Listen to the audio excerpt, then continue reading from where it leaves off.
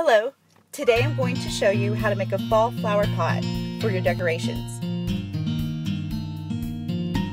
The supplies list needed is a pot, painter's tape, charcoal black spray paint, and a black paint marker.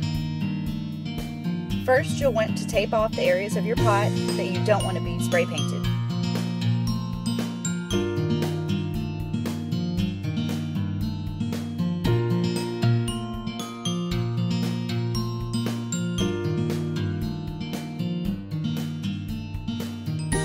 Now it's time to spray paint your pot. I'm using a charcoal black paint.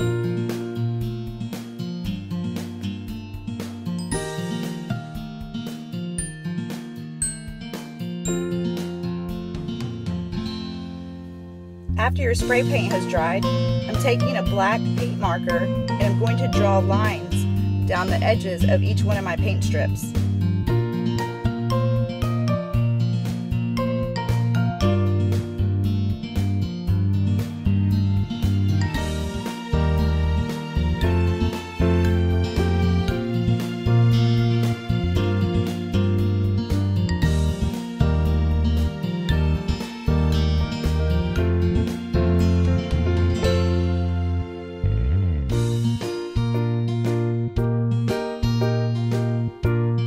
Once your lines are dry, now it's time to remove the tape.